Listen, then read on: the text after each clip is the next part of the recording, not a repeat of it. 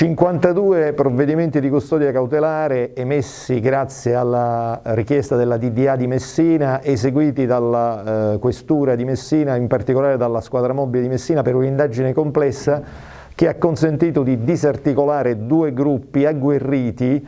proprietari, tra virgolette, di una eh, importante piazza di spaccio, oltre mille cessioni documentate, eh, arresti che hanno portato alla contestazione di numerosi reati che vanno dall'associazione a delinquere eh, finalizzata al traffico di stupefacenti, al commercio di stupefacenti, allo spaccio delle sostanze stupefacenti,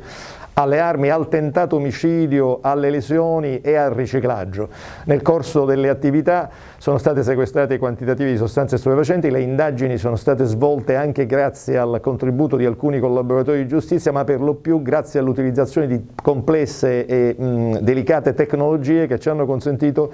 di entrare all'interno di un vero e proprio fortino che, gruppo, che questi gruppi avevano eh, creato. Si tratta di due gruppi anche contrapposti che dall'alleanza passavano a scontri violenti e di fatti sono stati contestati anche reati eh, eh, contro la persona perché le indagini sono partite proprio da eh, dei ferimenti e dai tentati omicidi consumati nell'arco diciamo, degli scorsi 4-5 anni.